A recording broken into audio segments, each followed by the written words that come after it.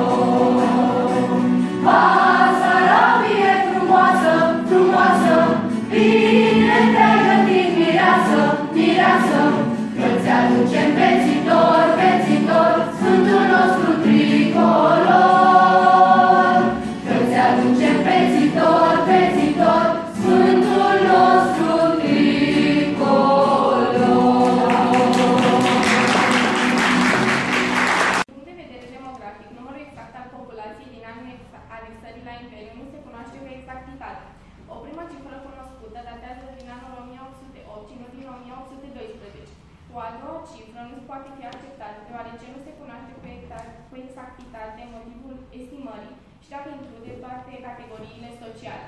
A treia cifră nu se poate bucura decât de un grad redus de încredere, reprezentând rezultatul unui recensământ. Primul recensământ oficial are loc în anul 1817 și include faptul că 4, ă, aproximativ ă, 492.000 de persoane au locuit în teritoriul transnistrian. Politica rusificării a fost promovată prin intermediul bisericii și al școlii. Autoritățile țariste introduc o nouă structură administrativă. Justiția, poliția și structura comunală sunt realizate pe baza legislației rusești cu funcționari ruși. Eh, eu eh, am aflat nu de mult că trebuie să mă întâlnesc cu elevii și m-am gândit cam ce mesaj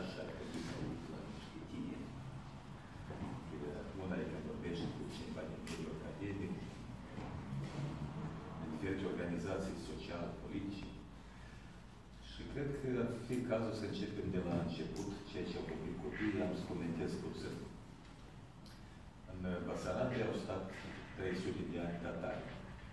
Și acum, tatare din Crimea, de la Bacșisarai, își amintesc, au în arhivele lor documente din perioada când Basarabia de Sud au stat tatari cu niște formalități, adică nu aveau dreptul să consulte ceva, nu puteau prinde de la structuri statale, dar am trăit. În uh, urma războiului soturc, tătarii au fost duși pe trei căi. O parte au fugit în Turcia, o parte au fost uh, deportați de către ruși în Caucazul din Nord și o parte au fost asimilați. Tătarii au conviețuit cu românii în Bugeacă. Este pe Bugeacă, chiar sora mea este, este Bugeacă,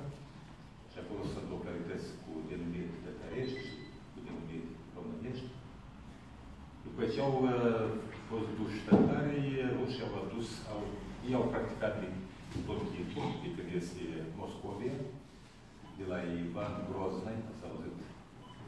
Ei au practicat tot timpul permutarea populației. Ca la șapte. Îi mutau tot timpul de o regiune în alta, ca să nu prindă rădăcini. Special au, au avut o politică de a subordona uh, națiunile din teritoriul administrat, chiar propriul, propriul popor. Era o politică foarte interesantă când, dacă apăreau ceva nemulțumiri sau cu potențială revoltă, erau duși ori conducători, ori popor, ca să-i rupă pe unii de alții. Și au adus vreo 10.000 de ucraineni în Bugeat. Acum, ce au făcut mai departe? Vă spun că o să fie interesant, în 1812, Chișinăul avea 7.000 populație. 7.000. Era un sat. Către anul 2000, 1824-27, deja avea vreo 27 de mii din contul oamenilor aduși de către ruși, care regulă erau aduși evrei. În Imperiul Țarist, evreii aveau un statut uh, foarte interesant. Ei nu erau acceptați în capitale, în marile orașe rusești, erau împinși spre periferie, spre Polonia, uh, iată, Basarabia, și practic mergea o, știu, o confruntare surdă, populația românească rămăsese la țară și cred că norocul nostru a fost că am trăit într-o epocă când nu era așa de dinamică viața, nu, nu se mișcau așa de mult populațiile, cetățenii, dar și ei au rămas uh, într-o oricare măsură izolați uh, și au urmat tradițiile, cultura, la nivelul unei localități sătești. Să fiu în, uh, în Bender, în, am luptat în Bender, Pighena, Bender, dar am fost chiar și teritoriul ocupat de gardiști, de, să vorbim, armata rusească, să spunem așa, mai Iugoslav. Și m-am întâlnit acolo cu jurnaliști din Petersburg, din Odessa, care încercau să mă convingă că rolul că eu am avut reputație de informal. Că noi, când am început mișcarea de liberare națională, ne numeau uniformal, extremiști și așa mai departe. În 1989, cam așa era tratat. Și când am merit la și acolo, am merit, răspundând așa simplu, am luat o statici niște postași din partea opusă, cu condiția că ne întâlnim cu comandantul lor, dar pentru orice eventualitate am dezarmat și țineam la noi ca o statici. Și am avut posibilitatea să circul și atât acești jurnaliști din Petersburg, toți îmi spuneau că, dar Natalia știi că în 1918 sfatul țării a fost o marionetă și au votat din cauza că era armata română pe teritoriul Basarabii și practic armata română e determinat că merge sfatul serii. Vă spun, tot timpul discuția asupra momentului votării declarației de unire, tot timpul a fost și va fi în centrul atenției. Răspunsul meu a fost întotdeauna că nu are nicio importanță. A facilitat, poate, armata română adoptarea citit, dar spiritul românesc n-a perit. Dar ce s-a întâmplat în 1918 a fost un miracol care nu știu dacă se va mai repeta vreodată în istoria poporului român. România a intrat în primul război mondial total nepregătită la presiunea Franței. Aveam un tratat secret prin care Antanta, Franța, Anglia, ne garantau că dacă intervenim în război împotriva puterilor centrale, vom primi provinciile stăpânite de monarhia austro-ungară, Bucovina, Transilvania, Banalul, Crișan. În momentul anului, în vara anului 1916, Franța era angajată în cea mai cumplită bătălie care s-a dat în primul război, bătălia de la Verdun, care a fost o hectagon. Acolo au murit peste un milion de francezi. Și Franța ne-a sumat că dacă nu intrăm în momentul acela în război, la tratativele de pace ulterioare nu li se va mai acorda niciuna din provinciile promise. Și am intrat nepregătiți. N-aveam armament modern, armata prost instruită, corp ofițeresc foarte slab. Și au urmat dezastrele. La Turtucaia, unde am fost înfrânți de trei armate. Germană, turcă, bulgară. În Transilvania au atacat alte trei armate. Maghiară, austriacă și germană. Cu cei mai buni mareșali ai lor. Dinspre Dobrogea venea Markensen, era poreblit spărgătorul de fronturi. Și toată România a fost ocupată de puterile centrale. Cei mai cumpliți dintre ocupanți au fost bulgarii. Au lăsat niște urme care nu se scăp niciodată. Într-o disperare, guvernul, familia regală, parlamentul, s-au refugiat în Moldova. Și o mare parte din populație, intrată în panică, că vor fi jefuiți, că vor fi uciși de ocupanți, țăranți simpli, cu căruțele, cu pou, cu vaca după ei, plecau în Moldova, care a fost supraaglomerată. Și a rămas un petec de țară. Au venit francezii târziu și au trimis o misiune militară foarte bună, cu sute de ofițeri, cu medici militari și ne-au reorganizat armata. Ne-au și echipat-o modern. Și din cenușe s-a ridicat o armată puternică.